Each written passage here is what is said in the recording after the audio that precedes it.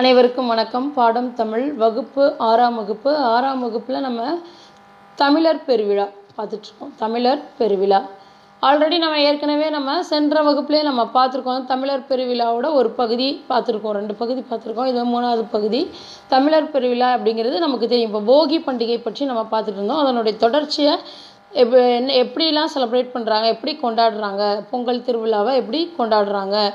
போகி பண்டிகை தமிழர் பெருவிழா அப்படி மாட்டுப் பொங்கல் இந்த மாதிரி ஒன்று ஒன்றா எப்படி சில கொண் அவங்களுடைய பொங்கல் கொண்டாட்டமானது எப்படி இருக்குது பொங்கல் பெரு பெருவிழாவுடைய கொண்டாட்டம் வந்து எப்படி இருக்குது அப்படிங்கிறத பற்றி தான் நம்ம அந்த வகுப்பில் பார்க்க போகிறோம் வாங்க பார்க்கலாம். தமிழர் பெருவிழா. பாருங்கள் இப்போ தமிழர் பெருவிழாவானது ஏழு ரெண்டில் உரைநடையாக இருக்குது இதை நம்ம ஏற்கனவே ஆல்ரெடி பார்த்துட்டோம். அடுத்து நம்ம போகி பொங்கல்ல இருந்தால் பார்த்துட்ருக்கோம். போகி திருநாள்.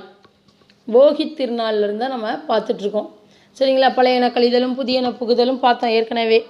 சென்ற வகுப்புலேயே நம்ம பார்த்தோம். என்ன அப்படின்றது? ஆன்றோர் மொழி அப்படின்றதெல்லாம் நம்ம பார்த்தோம். சரிங்களா? எல்லாமே நம்ம பார்த்தோம்.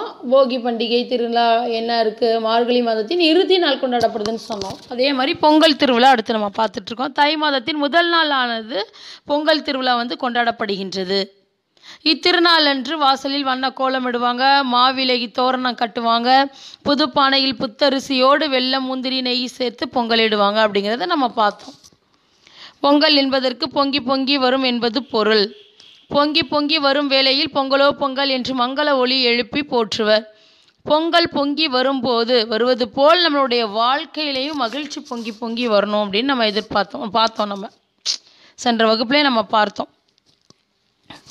பொங்கல் எப்படி பொங்கி பொங்கி வருதோ அதே மாதிரி நம்மளுடைய வாழ்க்கையில் மகிழ்ச்சி சந்தோஷம் ஒற்றுமை சமாதானம் எல்லாமே பொங்கி பொங்கி வரணும் அப்படிங்கிறது தான் அதனுடைய கருத்து அப்படிங்கிறது நமக்கு தெரியும்.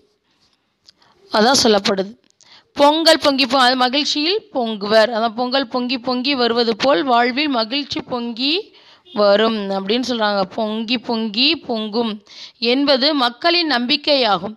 பின்னர் தழைவாழை இலையிட்டு தலைவாழை தலைவாழை இலையிட்டு பொங்கலை படைப்பார் அப்படின்னு சொல்லப்படுது. பொங்கலானது படைக்கப்படும் அப்படின்னு சொல்லப்படுது.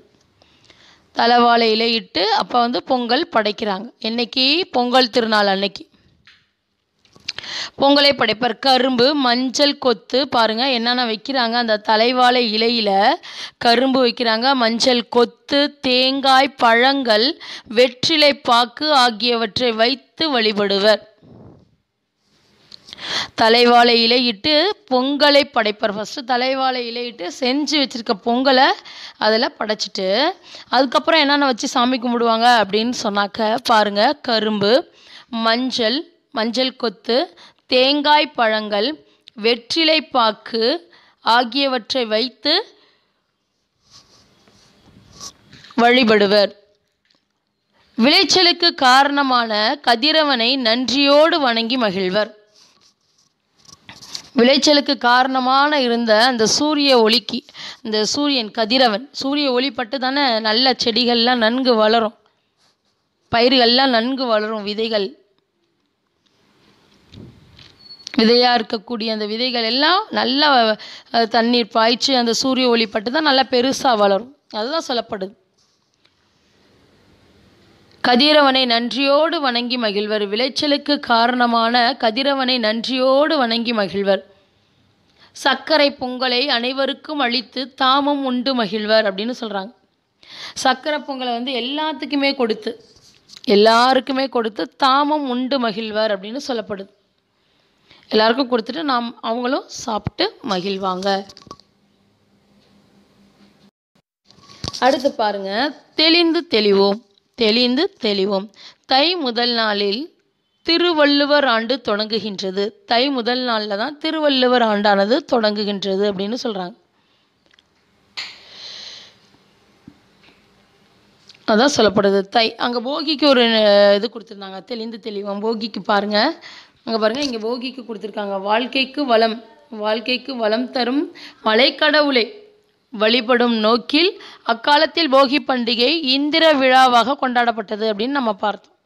இப்போ அதே பாருங்கள் இங்கே தை திங்களுக்கு வந்து எப்படி கொடுத்துருக்காங்க அப்படின்னு தெரிந்து தெளிவோம். தை பொங்கலுக்கு வந்து எப்படி கொடுத்துருக்காங்க அப்படின்னு சொன்னாக்க தை முதல் நாளில் முதல் நாளில் திருவள்ளுவர் ஆண்டு தொடங்குகின்றது. தை இரண்டாம் நாள் திருவள்ளுவர் தினம் கொண்டாடப்படுகின்றது.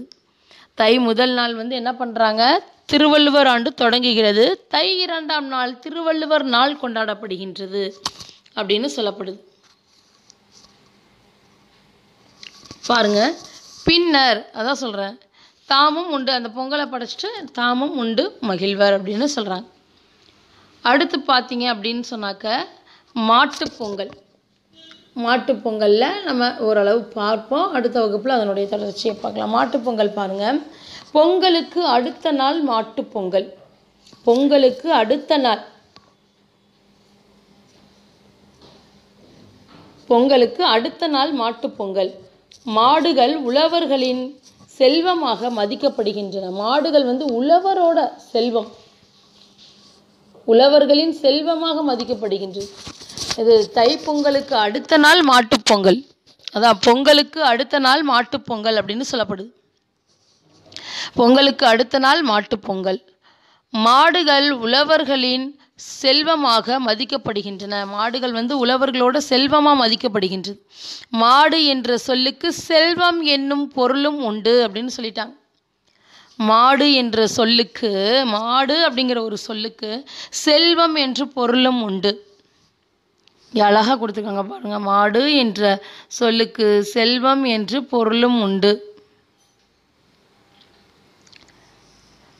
உழவுக்கும் உழவருக்கும் உழவுக்கும் உழவருக்கும் உற்ற துணையாக மாடுகள் விளங்குகின்றன. அவற்றிற்கு நன்றி செலுத்தும் வகையில் மாட்டுப் பொங்கல் கொண்டாடப்படுகின்றது. உழவுக்கும் உழவருக்கும் உழவுக்கும் உழவருக்கும் என்ன பண்ணுறாங்களாம் உழவுக்கும் உழவருக்கும் உதவியாக இருக்குதாம் அந்த மாடு? உழவுக்கும் உழவருக்கும் உற்ற துணையாக மாடுகள் விளங்குகின்றன. அவற்றிற்கு நன்றி செலுத்தும் வகையில் மாட்டுப் பொங்கல் கொண்டாடப்படுகின்றது. மாடுகளுக்கு நன்றி செலுத்துகிற வகையில் தான் மாட்டுப் பொங்கலானது கொண்டாடப்படுகின்றது. மாடுகளுக்கு நன்றி செலுத்தும் வகையில் மாட்டுப் பொங்கல் கொண்டாடப்படுகின்றது. சரிங்களா? அடுத்த வகுப்பில் இதனுடைய தொடர்ச்சியை நம்ம பார்க்கலாம். நன்றி.